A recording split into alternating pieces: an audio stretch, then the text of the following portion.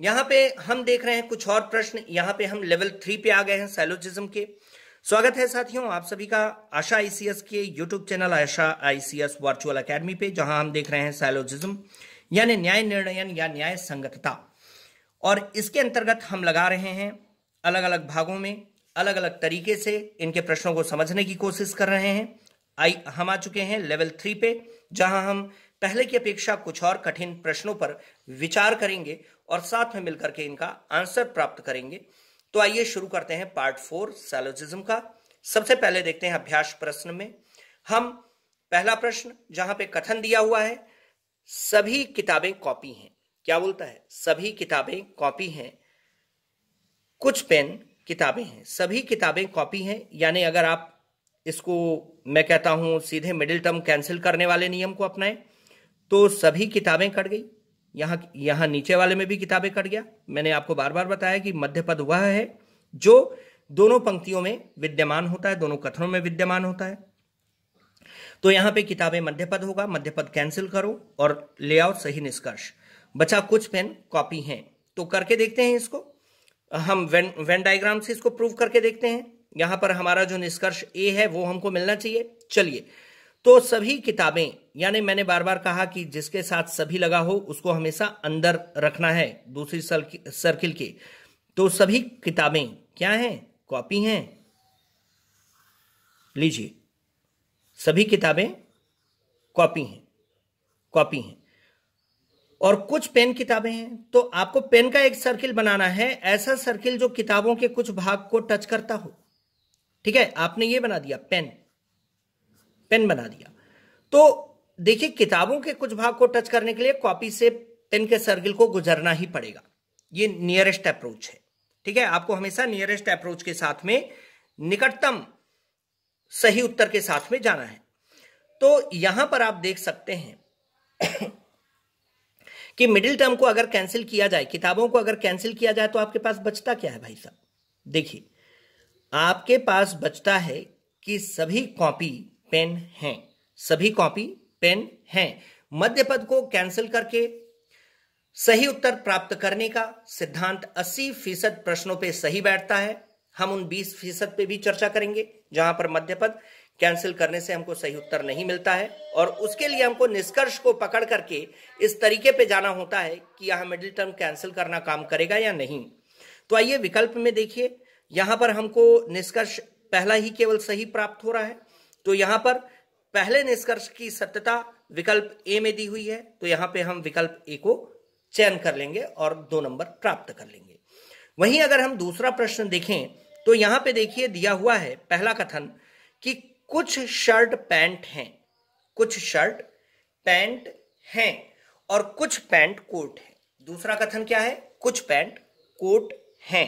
तो यहाँ पर अब आप अगर निष्कर्ष को देखें तो कोई शर्ट कोट नहीं है और कुछ शर्ट कोट हैं, ये दिया हुआ रहा है। ठीक है? तो यहाँ पर अगर आप देखें तो मध्यपद आपका पैंट बनता है। मध्यपद क्या बनता है? पैंट बनता है। तो अगर आप यहाँ पे मध्यपद को काट करके सही आंसर लाना चाहें तो क्या आएगा? कुछ शर्ट कोट हैं, कुछ शर्ट कोट हैं, जो आपको यहाँ पर दिखाई दे रहा है। ठीक है? लेकिन आपको अब यहाँ पर देखिए, मैं इसके एक दूसरे पक्ष से भी परिचित कराना चाहूँगा। न्याय निर्णयन का जो दूसरा पक्ष है, वो क्या होता है? कि यहाँ पे दोनों ही निष्कर्ष सही हैं। क्योंकि यहाँ पर कथन के अनुरूप वेन डायग्राम की दो स्थिति बन रही है। अब दो स्थिति किस प्रकार बन सकती है, वो हम देख लेते हैं। कि सबसे पहले, पहली स्थिति आपने बनाई, पहली स्थिति ये बना कुछ शर्ट, पैंट हैं। तो आपको क्या बनाना पड़ेगा? शर्ट का एक सर्किल बनाना पड़ेगा। फिर एक सर्किल पैंट का बनाना पड़ेगा। पैंट, ठीक है? और कुछ पैंट कोट हैं तो ये इस प्रकार से कवर कर सकता है। कोट, ठीक है? अब अगर आपको मध्यपद कैंसिल करने का नौबत आए, या नौबत तो आएगा ही भाई साहब। मध्यपद तो कैंसिल करना ही है। तो यहाँ पर हम देखते हैं कि मध्य पद के कैंसिल होते ही मध्य पद के विलोपित होते ही शर्ट और कोट में कोई संबंध नहीं रह गया। उनको जोड़ने वाली कड़ी जो है वो टूट गई। तो यहाँ पे शर्ट और कोट का कोई संबंध नहीं बना। तो यहाँ पर हमको पहला कथन, पहला निष्कर्ष, उपयुक्त कथन का जो दिया हुआ है, कोई शर्ट कोट नहीं है या कोई कोट शर्ट नहीं है यह भी सही प्राप्त होता है। तो हम लिखेंगे यहाँ पर कि पहला वाला सही है लेकिन दूसरा वाला भी सही है। दूसरा वाला किस नज़रिए सही है? क्योंकि देखिए कई बार क्या होता है कि दो कथनों के एक या एक से अधिक वेन आरेख बनने की संभावनाएँ होती हैं। तो आइए हम दूसरे आ, संभावना पे भी नज़र डाल लें। अब देखिए दूसरी संभावना यह हो सकती है कि हमने बना दिया कुछ शर्ट पैंट है बना दिया ये बना दिया शर्ट ये बना दिया भाई साहब पैंट पैंट। अब ये तो मेरा विचार था कि मैं इस प्रकार का बनाया था। कोई और बंदा आया, बोलता है कि नहीं भाई साहब, मैं तो यहाँ से बनाऊँगा। अब कुछ शर्ट कोट हैं, ठीक है? तो कोट तो मैं यहाँ से बनाऊँगा, इस प्रकार बनाऊँगा। शर्ट को मैंने कवर किया, लेकिन मेरे साथ क्या कवर हो गया? साथ में पैंट भी कवर हो गया, ठीक है? क्या बनाइए? कोट। तो मैंने शर्ट को कवर किया तो मैंने संयोग से जो पैंट वाला पार्ट था वो भी कवर कर लिया है। ठीक? तो यहाँ पर जब आप मध्यपद को कैंसिल करेंगे, यानी इसमें मध्यपद क्या है? इसमें मध्यपद है शर्ट मध्यपद है शर्ट तो जब आप क्षमा चाहूँगा, इसमें मध्यपद है पैंट तो जब आप पैंट को कैंसिल करोगे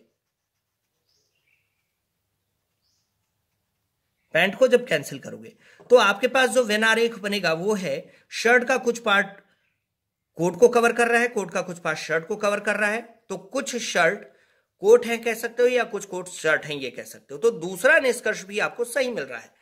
बहरहाल, अब आपको देखना है विकल्प में कि क्या विकल्प में ऐसी संभावनाएँ मौजूद हैं? जी हाँ है। यहाँ पे सी ऑप्शन देखिए। या तो एक सही है, या तो दो सही है। मतलब या तो निष्कर्ष एक सही, या तो निष्कर्ष दो सही। अब अगर इस अवस्था में निर्माण होता है विनारेक का तो निष्कर्ष एक सही सही आएगा। और अगर इस अवस्था में विनारेक बनता है तो निष्कर्ष दो सही आएगा, यानी और दोनों ही निष्कर्षों के सत्यता का विकल्प अगर दिया हुआ है तो हमको वो विकल्प चुनना है जहाँ पे दोनों निष्कर्ष को सही बताया जा रहा है।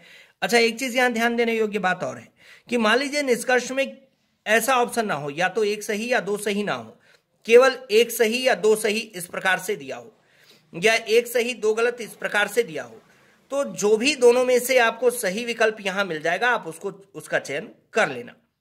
ठीक है? तो आपको सही उत्तर प्राप्त हो जाएगा। चलिए, मिलते हैं अगले वीडियो में कुछ और प्रश्न के साथ, थोड़ा और लेवल हाई करके, ताकि आपको और अच्छे तरीके से वेनारिक के सिद्धांतों को समझाया जा सके।